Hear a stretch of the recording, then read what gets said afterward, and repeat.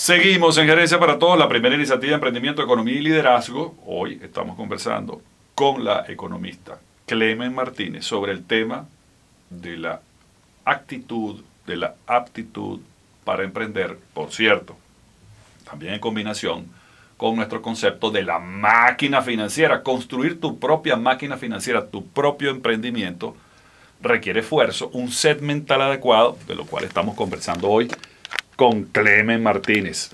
Claro. Eh, el tema es el siguiente, que la gente cae en ansiedad porque ya no se puede manejar bajo, bajo, las mismas condiciones que venía acostumbrado.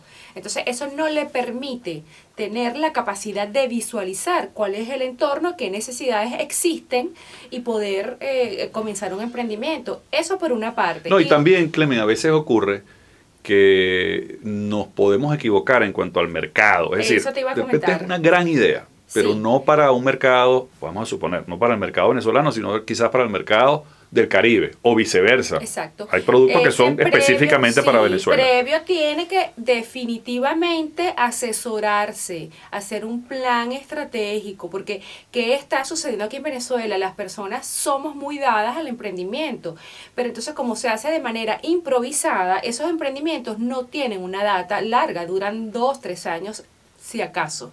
Así Entonces, es. para evitar ese tipo de fracasos, lo importante es, primero, la parte, eh, la actitud ante la situación y segundo es buscar personas que lo puedan asesorar. Por cierto, el primer componente de la máquina financiera es el set mental adecuado. O sea, si la persona no tiene la fortaleza mental para enfrentar dificultades, que le cierren la puerta, uh -huh. que no consiga de repente los elementos necesarios para su emprendimiento, afrontar la competencia, superar la burocracia necesaria para establecer legalmente una empresa. Uh -huh. En fin, si no tiene esa fortaleza mental, no está preparado para ser emprendedor. Sí, eso se le llama resiliencia. Así es. Eso es algo que todos los tenemos, pero eso no significa que si esa persona no, no, no tiene esa capacidad de desarrollarlo, no la puede adquirir. Eso es un tema de concientizarse de que la situación que tenemos te, tiene que salir adelante y buscar esas herramientas. Por cierto, eh, Gerencia para Todos, que está cumpliendo 10 años,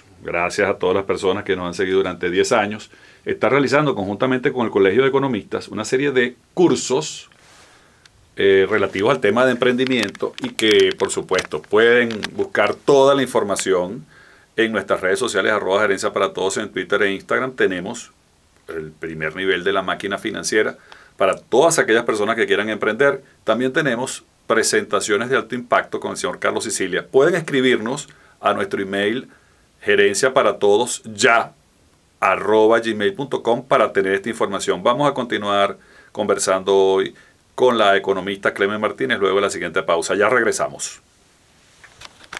Muy bien.